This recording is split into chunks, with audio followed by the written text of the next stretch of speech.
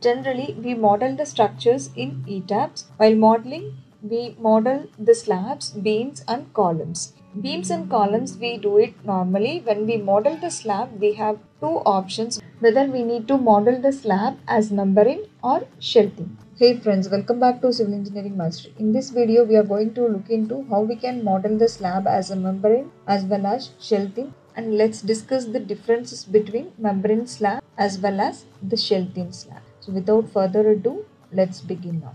Let's start off with defining the slab property. Here I have modeled the structure and I have defined the beam property and column property. If we go to define and uh, look into the section properties, frame sections and then I have the beam and column defined already. Now let's define the slab. Go to define section properties. Under this you have to select the slab section. So let's add the new property. Let's name it as slab membrane.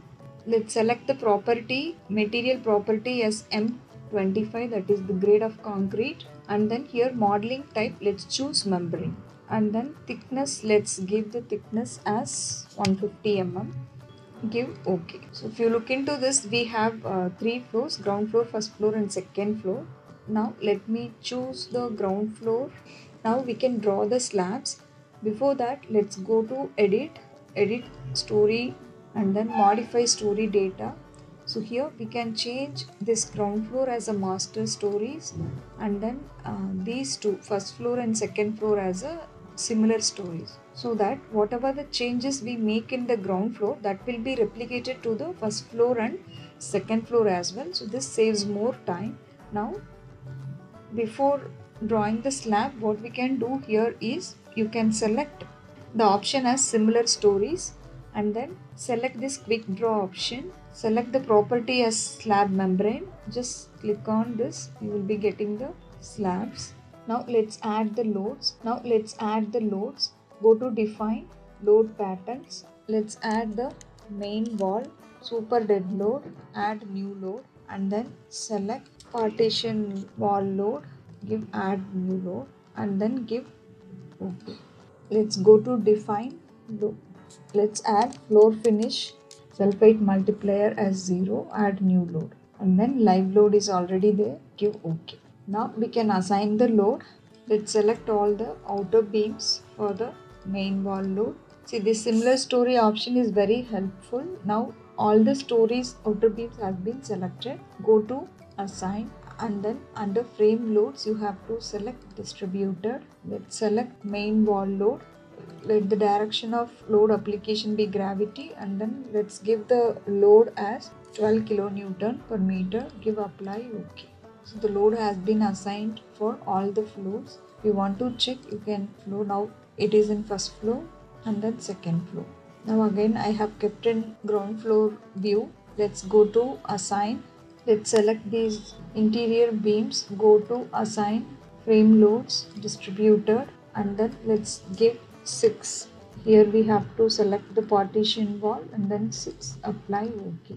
So it is done. Next let's go to assign and then shell load uniform. First let's select the slabs and then assign the loads. So the slabs has been selected. Now we have to select the floor finish as 1.5 kilonewton per meter square give apply ok it has been assigned give the previous selection option and then again go to assign shell load uniform select live load then give to apply ok now let's do the analysis.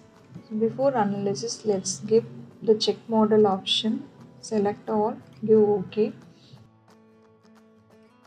there is no warning messages we can just do the analysis now analysis has been completed. We have completed the slab modeling as a membrane. Now let's model the slab as shell thin and then we can compare the results. Go to define and then under section property select slab section add new property slab shell thin and then M25 here also modeling type shell thin here in shell thin we can use the modifiers because it takes the stiffness whereas in the membrane slab the stiffness is 0. Here we can use the stiffness modifier as 0.25 as per IS 1893. So other than mass and weight, all the direction we can add the stiffness modifiers, give OK and slab thickness we can change it to 150 mm, give OK. Now we can go to this quick draw option, select the property as slab shell thin and then just click on this, you will get the slabs. And in shell thin we can add the meshing options. Auto meshing we can add go to assign under shell you can go with the floor auto mesh option.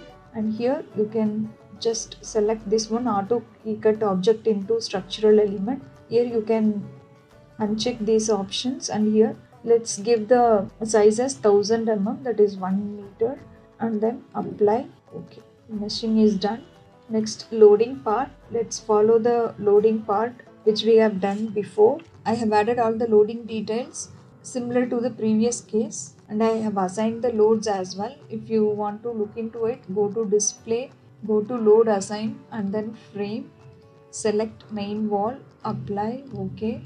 So that will be visible and again if you wanted to look into the shell load, go to display, load assign, shell and then uh, let's look into the live load give apply okay so that that will show you the live load which we have assigned. So now the loading part is done. Let's do the analysis. Before analysis let's check the model. Now we can do the analysis. Analysis has been done now let's compare the results of the membrane as well as the shell thin slabs see now we have the membrane slab as well as shell thin model first let's uh, get the deformed shape, force and stress diagram under this shell stresses and forces. So we are getting the slab uh, values. Just I'm selecting M22 apply OK. We look at the stress diagram for the membrane slab. Since it is not taking more stresses it is transferring all the load to the beams. The similar manner let's go to display. Let's select m22 give apply ok. See now you can see the difference between these two. In this slab thin option, the loads will be taken by the slab itself because slab has its own stiffness and then it transfer the remaining loads into the beams remaining loads to the beams whereas in membrane slab all the loads will be transferred to the supporting members supporting members here is the beams so all the loads will be getting transferred to the supporting member. So that is why the stiffness of the membrane slab is 0 whereas the shell thin slab has the stiffness values. Let's look into the other direction as well. Go to display M on apply OK. Similarly here let's go to display apply OK.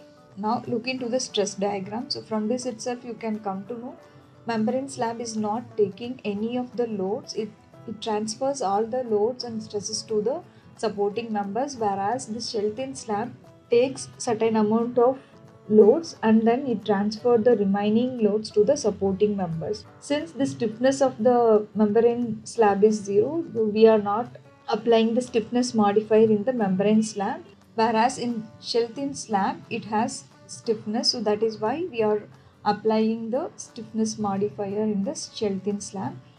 In this the meshing cannot be done in shell thin slab we can do the auto meshing if we do the manual meshing in membrane slab it changes the load transfer pattern. Now let's compare the beam forces. Just right click on this beam. So here we have the moment shear force equivalent loads. The moment is 6.43 shear is 11.63 and then equivalent load is 8.3 let's do the same thing over here. Look into the difference. It is 5.8 this is shell thin and this is membrane. Since it transfer all the loads to the beams we have more moment values. And in shell thin it takes some moments. The slab itself takes some moments and then it transfers the remaining moment to the beams. And then shear is 10.4 equivalent load is 2.58 so in this way the membrane slab and the shell thin slab has differences So let's summarize once again. In the membrane slab, stiffness is 0. It will not take any moment or loads. Whereas the shell thin slab has its own stiffness and it takes the moments and loads and then it transfer the remaining load to the supporting members. Meshing cannot be done in the membrane slab whereas in shell thin slab we can do the meshing. Since the stiffness is 0 we cannot apply the property modifiers in the membrane slab. We can apply the property modifier in the shell thin slab since it has its own stiffness. Now the question is where we have to use the membrane slab and where we have to use the shell thin slab. You can use the membrane slab where you have the staircase area or you have some equipment needs to be placed on the slab that loads need to be completely transferred to the supporting members. In that case you can go for the membrane slab. In other normal cases and all you can go with the shell thin slab and you have to use these two options wisely. So if you are using membrane slab then you have to design the beams accordingly. Similarly, if you are using the shell thin slab, the slab and beam needs to be designed accordingly because the shell thin slab takes some moment and then it transfer to the beams. So you have to design the slab accordingly and then beam according to the shell thin slab. Similarly, if you are going with the membrane slab, you have to design the slab and beam according to the membrane slab. So you have to stick to any one of the approach which you are following. So I would recommend you to use these options wisely wherever you required and then try to understand the difference between the membrane and the shell thin slab. So that's all about this membrane and shell thin slab. So friends, I hope you all like this video. Please do comment in the comment box. Your comments are always welcome. And don't forget to subscribe this channel for more videos. Thank you for watching.